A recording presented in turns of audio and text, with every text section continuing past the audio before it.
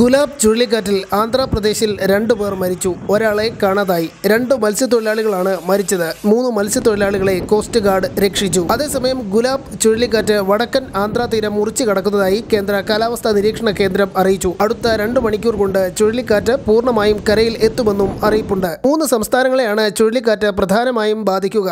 ആന്ധ്രാപ്രദേശ് പശ്ചിമ ബംഗാൾ ഒഡീഷ സംസ്ഥാനങ്ങൾക്കാണ് മുന്നറിയിപ്പ് നൽകിയിരിക്കുന്നത്. വടക്കൻ ആന്ധ്രാപ്രദേശ് തെക്കൻ ഒഡീഷ തീരങ്ങളിൽ യെല്ലോ അലർട്ട് പ്രഖ്യാപിച്ചിട്ടുണ്ട്. ഒഡീഷ പശ്ചിമ ബംഗാൾ ആന്ധ്രാപ്രദേശ് സംസ്ഥാനങ്ങളിൽ ദേശീയ ദുരന്ത നിവാരണ സേനയുടെ അധിക സംഘത്തെ വിന്യസിച്ചു. ആർമി വ്യോമസേനകളെയും സജ്ജമാക്കിയിട്ടുണ്ട്. ദുരന്ത സാഹചര്യം നേരിടാൻ സജ്ജമെന്ന് ദേശീയ ദുരന്ത നിവാരണ അതോറിറ്റി അറിയിച്ചു. ചുഴലിക്കാറ്റിന്റെ പശ്ചാത്തലത്തിൽ ഒഡീഷയിലെ ബീച്ചുകൾ അടച്ചു. ഗുലാബ് ചുഴലിക്കാറ്റ് സാഹചര്യം പ്രധാനമന്ത്രി വിലയിരുത്തി.